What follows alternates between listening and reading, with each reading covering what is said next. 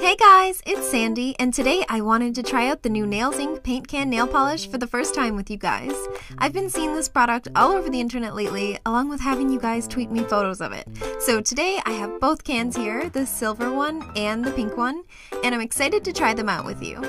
They retail for 10 British pounds, which is 15 US dollars each, so they're a little pricey. All you're supposed to do is use a base coat, spray the polish over your nails, top coat, and then wash your hands. Let's try it out and see if it really works. I'm going to start off with a base coat. I'm using Zoya's Anchor Base, and I'm applying a coat of it over all of my nails. Also, I'm making sure to cover as much of my nails as possible with it because I'm assuming that the spray polish will only stick to the base coat and not my natural nails. So now that I've applied it all, I'm going to wait for it to dry. And guys, whenever I wait for my polish to dry now, I take out my phone and I play Polish Blast. How many of you guys do that too? Also, if you play, what level are you on? I really want to know, so let me know down in the comments. Now that they're dry, I'm shaking up the paint can and then spraying it all over my nails. Okay, so it never took very well to my nails. Only the first one seemed to have worked. So that's really weird. I had really high hopes for this, so I'm not giving up yet. I'm shaking it up again, and then I'm trying my thumb. Okay, wow, that worked really well, so I'm guessing I never shook the can up enough the first time. So let's reshake it and try it again.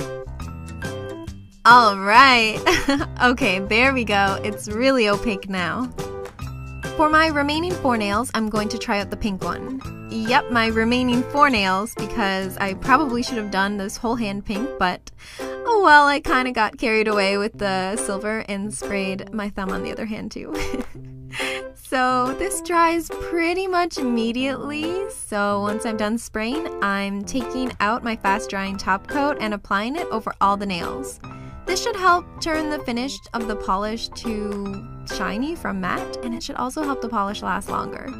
So let's give it a few minutes to dry, and then go to the sink to wash away the excess polish using soap and water. The pink polish washed off pretty effortlessly, but the silver needed a lot more scrubbing and scraping off my skin with my nails. So here's the finished result.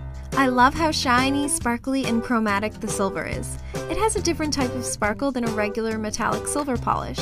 It's like it's made up of a million little pieces of tiny glitter. I really don't like the finish of the pink though. It looks really cheap and bumpy to me. What do you guys think of the finished results? Let me know in the comments.